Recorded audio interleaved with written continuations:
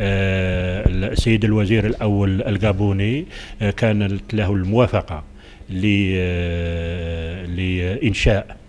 كانت هذه من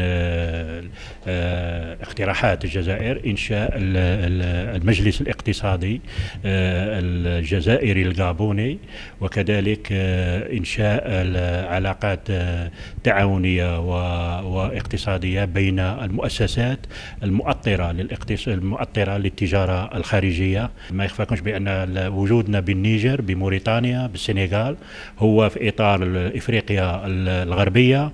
والآن رانا في المرحلة الثانية هو دخولنا في إفريقيا الوسطى من خلال الغابون